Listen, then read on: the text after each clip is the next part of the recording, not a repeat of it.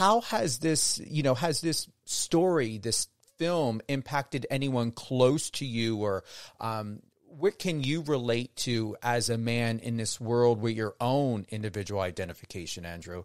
What can you relate to of how it's been tough for you to to fit in or things that you've grown up with in your adolescence? Yeah i mean well this my you know again like i touched on the you know the, the parts of my character that he kind of had this this darker time in his life uh, i've definitely definitely had some when I was around 22 years old.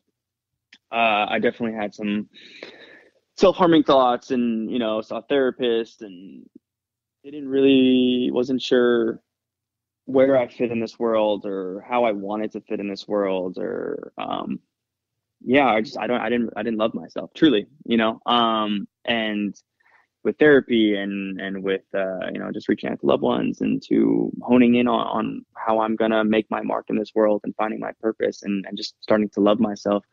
Um, you know, I, I'm here now and I, and I do and and so I that's I, I related to this story especially because everyone in this story has their own journey of finding their power, finding their love for themselves, finding where where they fit. You know, um, and and so it yeah, I mean, it was uh it was just a beautiful journey. You know, this filming this, you know, we were in Mississippi for two and a half months.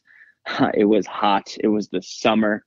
You know, we're full full cammies. You know, doing all of the boot camp things, all of the Marine boot camp things, which were hard. We had actual boot camp for two weeks before we started shooting, um, and you know, and it was it was marching. We had real uh, Marine consultants there, uh, you know, showing us how, how to use these rifles, how to how to march, how to do the ditties and all of you know the procedural aspects of the Marines of boot camp. Um, yeah, you know, it was uh, I grew a lot through this experience. You know, very lucky,